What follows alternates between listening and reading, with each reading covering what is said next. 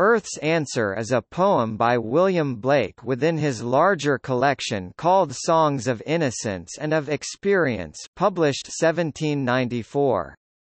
It is the response to the previous poem in the Songs of Experience introduction Blake, 1794. In the introduction, the bard asks the earth to wake up and claim ownership. In this poem, the feminine earth responds, Earth's Answer is composed of five stanzas, each having five lines. With the exceptions of the third and fourth, the stanzas follow an ABAAB rhyme scheme.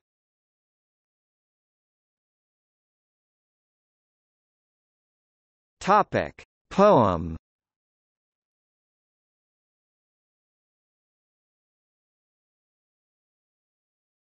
Topic: Summary In Earth's Answer, we see that the Earth raises her head from darkness dread and drear. 2 and that the light about her has fled 3. Her hair is described as being covered with grey despair. 5. She states that she is imprisoned on the cold 8. watery shore 6 which is by the selfish father of men. 11. Earth then gives a series of questions, asking if spring is budding flowers and if the sower and plowman are working by night 16 to 20. The final stanza shows Earth asking that the chains be broken and that she be set free 21 to 25.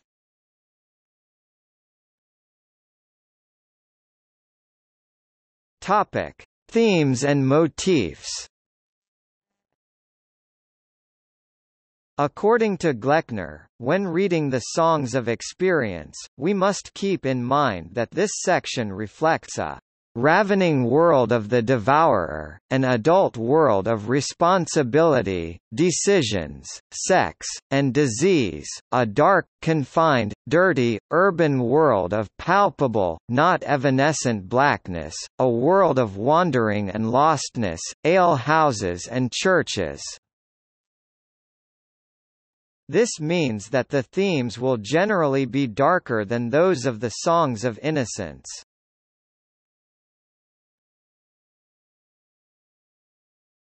Topic: Religion. Throughout the Songs of Experience there seems to be an attack on official religion. Since Earth's Answer is a response to the introduction to Songs of Experience, it is important to read them in context and in conversation with each other.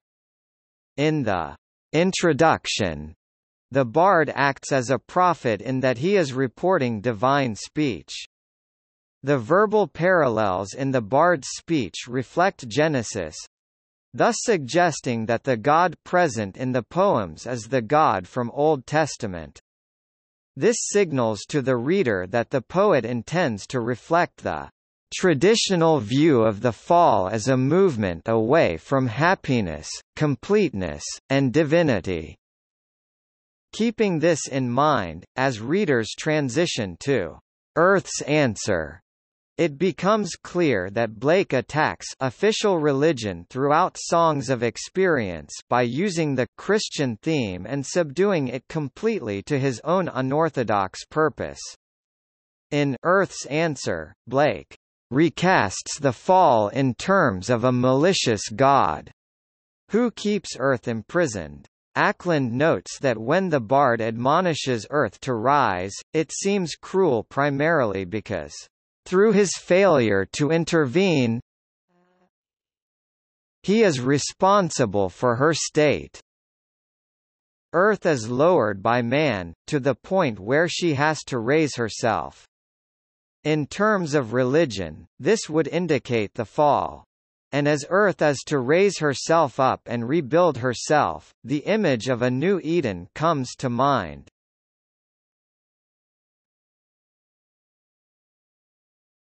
Topic: Nature. A typical trope within Romantic poetry is the use of nature to reflect on experiences.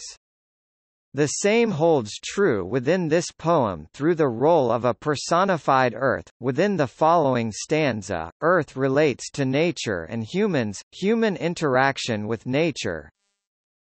Blooming is typical and expected of spring, and sowing and plowing are essential for agricultural practices.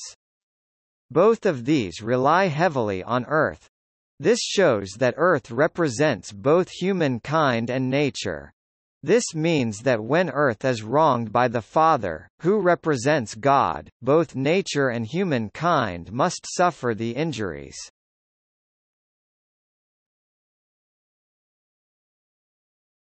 Topic: Illustrations For songs of innocence and experience, Blake used a method called illuminated printing, in which he had complete control over both his poems and the illustrations. The Norton textbook states that when it comes to reading this illuminated manuscript, to read a Blake poem without the pictures is to miss something important. Blake places words and images in a relationship that is sometimes mutually enlightening and sometimes turbulent, and that relationship is an aspect of the poem's argument. The illustration itself contributes and adds to the nature theme. There is a vine-like vegetation that both frames the poem and divides the stanzas. Along the left margin, the vines are straight and vertical. On the right, the vines become thick, leaves, flowers, or even grape-like.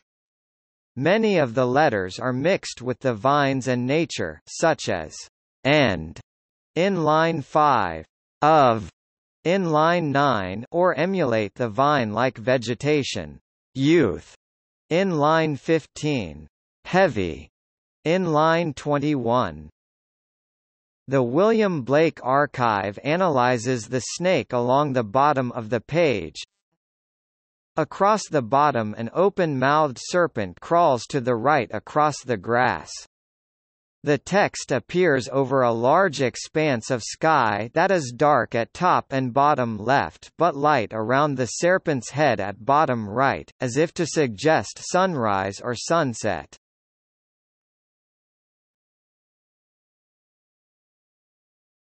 Topic: Critical reception.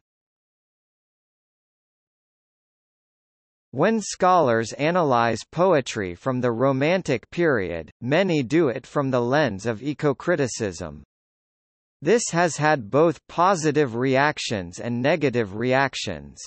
In his article, Blake's Deep Ecology, Lussier states that the negative reaction has been centered around scholars fearing of analyzing a poem in an anachronistic fashion by applying a contemporary political view to past poets and their poetry. Quote, However, the interdisciplinary approach of ecological criticism is also vital, as it directly responds to a physical crisis in which all are implicated and requires us to rethink our intellectual enterprises and institutions.